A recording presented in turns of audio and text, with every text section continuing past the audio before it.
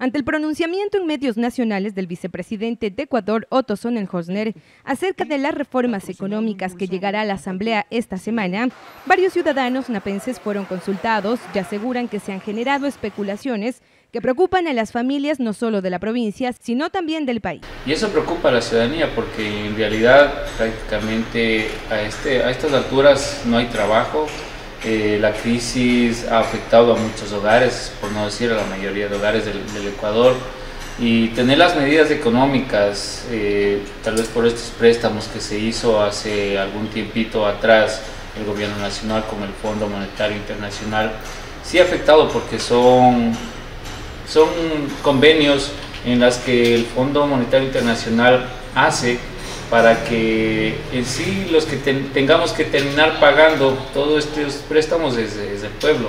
Según información que comparte Diario El Comercio, el gobierno debe recortar 200 millones de dólares en salarios en relación al 2018 como parte del acuerdo con el Fondo Monetario Internacional.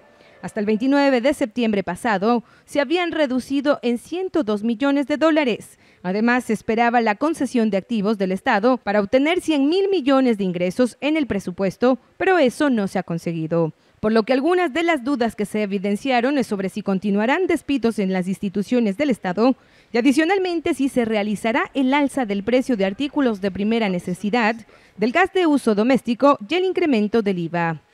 He visto por las redes sociales, medios de, comunicación que se está, está circulando esta, esta noticia, esta novedad que nos tiene a todos intrigados qué mismo va a pasar y que, de qué forma vamos a, poder sobrellevar esta situación, porque la situación económica al momento es terrible.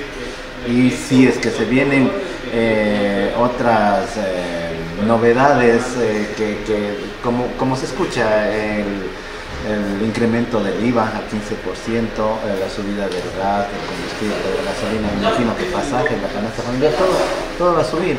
Entonces lo que toman en cuenta es solamente incrementar el precio en los productos, en el IVA, y por qué no se toma en cuenta también el subir el sueldo para uno poder sobrevivir y sobrellevar. ¿Cómo pretenden que uno va, va a poder? Porque al menos tenemos unos sueldos que no nos alcanzan ni siquiera para poder vivir bien. En Carchi se reportan paralizaciones, por lo que para otros esta es una de las medidas que aseguran apoyarán en caso de que se afecte la economía familiar. Situación tan delicada ahora que la provincia del Carchi se encuentra eh, paralizada. También entiendo y sé que está la provincia de Bolívar. La CONAI está anunciando movilizaciones. Las provincias también todos nos estamos poniendo alertas. Y con este anuncio, yo pienso que hasta cierto punto es responsable porque no pueden alertarnos de lo que nos va a suceder. Nosotros lo estamos viviendo, sabemos perfectamente. Pero siendo así, yo pienso que el país se va a convulsionar. El país se va a convulsionar y le puede estar puede estar peligrando la estabilidad de este gobierno. Finalmente, un representante de un medio de comunicación local mencionó que lo mejor que se puede hacer en estos momentos es evitar compartir información que no sea verificada y oficial para esperar que se presente la propuesta del Gobierno Nacional sin generar conflictos que perjudiquen el desarrollo de las actividades económicas del país. Fijarse siempre en los medios de comunicación eh, oficiales que tienen un código de ética que pueden ser sancionados al rato de emitir una falsa información para poder eh, eh, darse cuenta de lo que va a suceder a nivel económico en el país.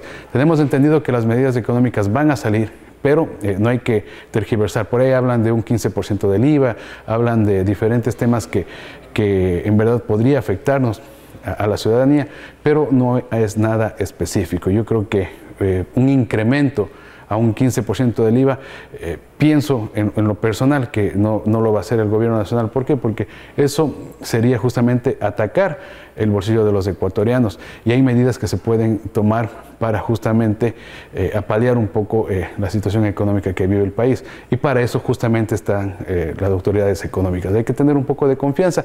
Esperemos a que salgan los, los detalles oficiales para poder nosotros dar un punto de vista. Hasta el 3 de octubre se espera que se presente a la Asamblea Nacional estas reformas para su y posterior aprobación.